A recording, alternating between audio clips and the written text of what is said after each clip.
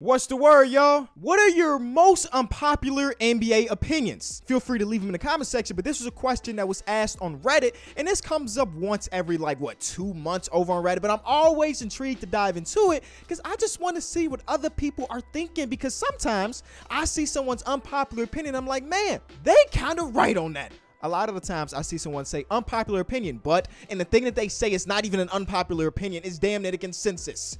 I don't want to see that today. I hope we don't see that today. But we're gonna go through this this Reddit thread and uh, just react to some of the unpopular opinions that other NBA fans have. Leave a like, subscribe. I want to say shout out to uh, Raul Raja for starting it off. They give us 10 of their own. And I'm be honest with you, I don't want to spend the entire video on your own. So I'm going to go through the first one. The NBA's draft age should be raised. Oh my God, he's already starting off. That is a legitimate unpopular opinion. Players will come in more developed. Okay. Mm, I think we're gonna make an argument. We're gonna make an argument against these. Rebuilds will be shorter, and there will be more scouting opportunities. Yeah, I'm completely against this. I'm assuming that the, the next level to be raising the age has to be 21, because right now would it be 19 or one year removed from what would have been your college season? I don't know what the hell the rules are. I am very pro if if someone wants to give you a job at a high school of millions and millions of dollars and you want to say yes, then you should have that opportunity. So I'm saying I would like to see straight out of high school and basketball again. Understand that that somewhat hurts the product, and I, I think that's what this guy's alluding to when we go into getting players that are one year removed from college, or even in my example, going straight out of high school. The product is going to suffer because everybody's shooting for the fences. Oh, we want to get that 19 year, year old because by the time he is 23, he might be one of the best players in basketball and we see a lot of bust. We see a lot of people not hit that full potential because everybody's drafted for potential instead of just drafting the best player available. But like, dog, if we raising up to 21, that means we wouldn't have got like the first couple seasons of Ja Morant. The hype that was Zion Williamson. Paolo Banchero averages like 20 something points per game. He's 19. We would have, we would have told bro, stay over there, stay over there in Duke for two more seasons. I think that does more hurt than than greatness for for the league and for these young people growing up. Because as y'all know, in the game of sports, uh, something can end just like that. Can you imagine a dude that would be good enough to come out at 19 years old, but they had to stay for two more seasons, and boom, a ruptured Achilles happens? Like that, that's raps. You're done. So I, I really don't like this. I mean, you can make the argument like he does that people be more developed, but I would argue that there's nothing better than NBA development. That playing in college is not getting you ready for the NBA exactly because the styles are stylistically different stylistically different. That's why we see so many players dominating college, and then scouts like, eh, Tyler Hansbrough, he might be the greatest college player of our, our generation. we not drafting him in the top 10 or something like that. Man, that was extreme exaggeration. No disrespect, Tyler Hansbrough, but yeah, I, I was exaggerating. But you get what I'm saying. That guy was elite. Like he's what 13th all time in points scored in college basketball history or something like that.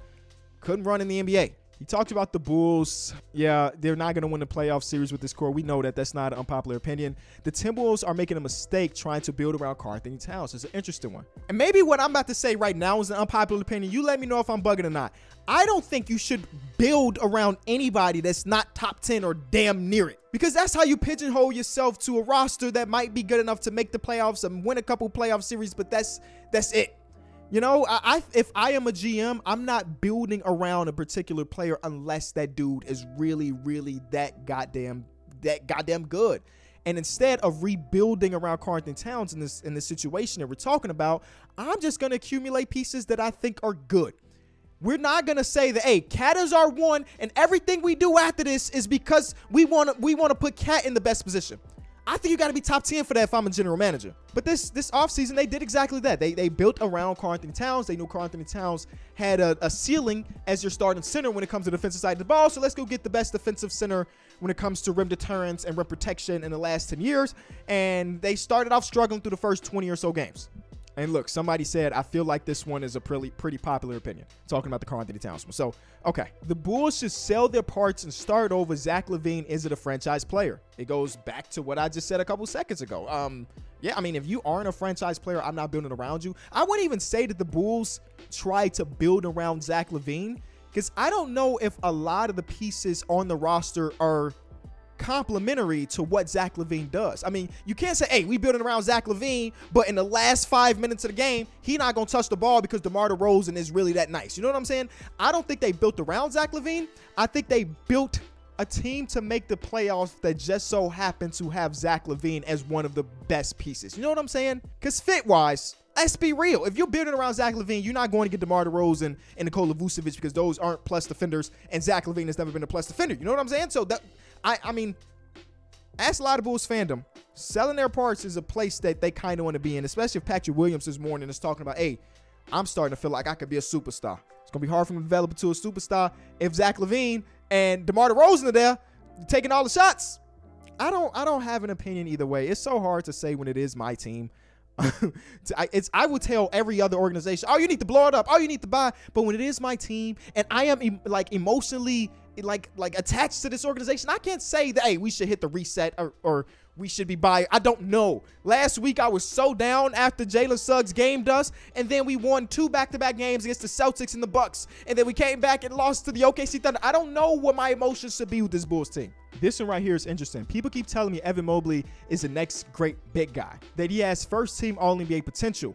And then I watch him play and barely notice him out there. I'm not saying he's a bad player, but I personally not seeing this potential next level star. And I can, I guess, understand where this person is coming from, but I disagree completely. I do believe that Evan Mobley has the potential to be that good.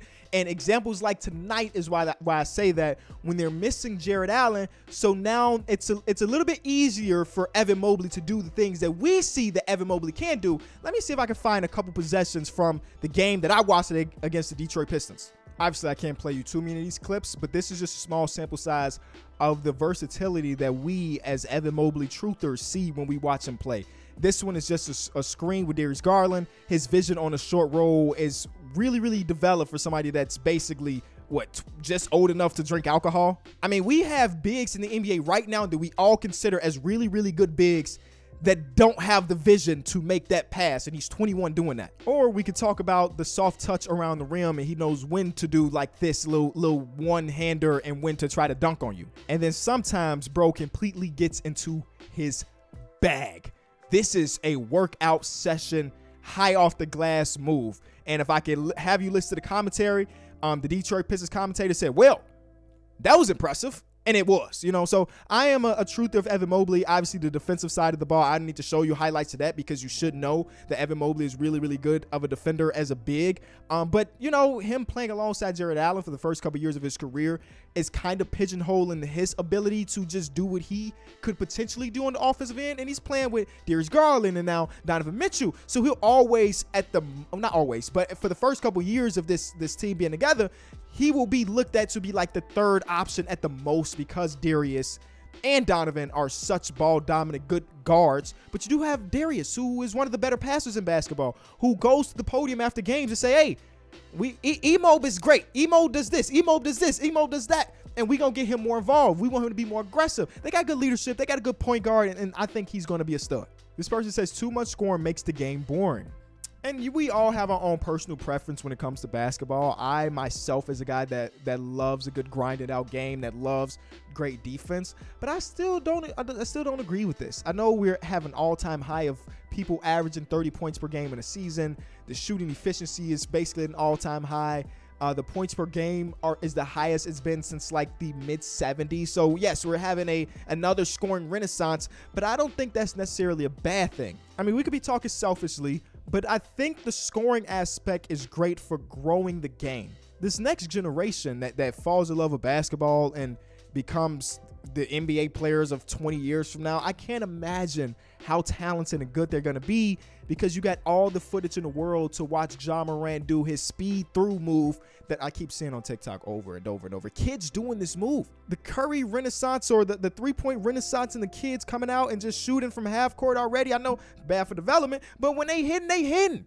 Um, so I, I, don't think it makes it boring. It does lead to maybe more blowouts than we would want on, in individual games, but this season, I don't, I don't have the stats to prove this, feels closer than last season. I vividly remember last season coming onto this and being like, man, another day of blowouts. What do we even talk about? And I feel like every single night we at least got a couple very close games. So, I mean, I don't know. I, I think defenses do ramp up, obviously, once we get to the postseason, and we all know that.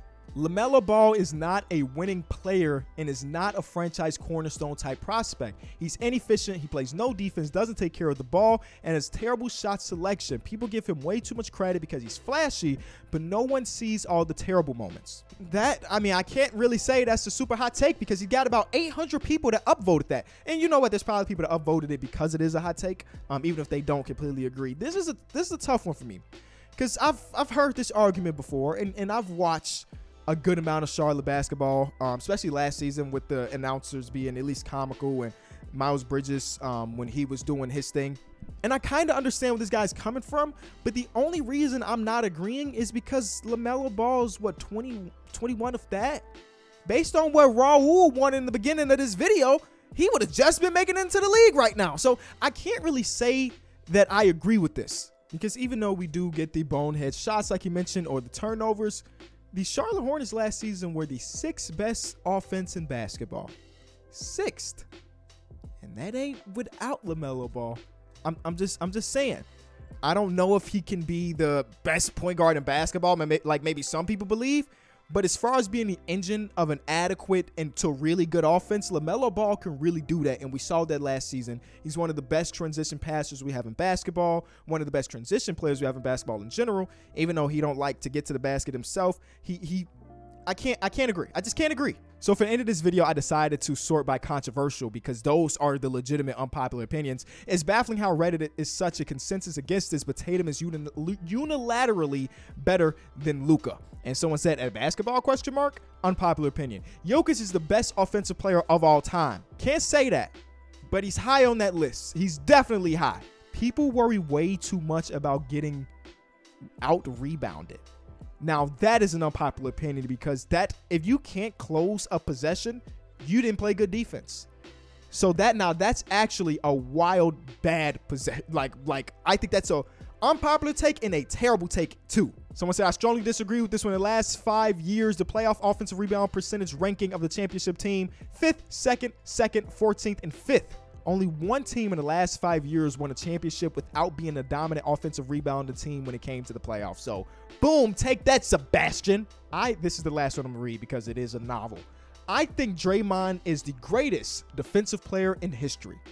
I think most of what he does isn't measured by stats.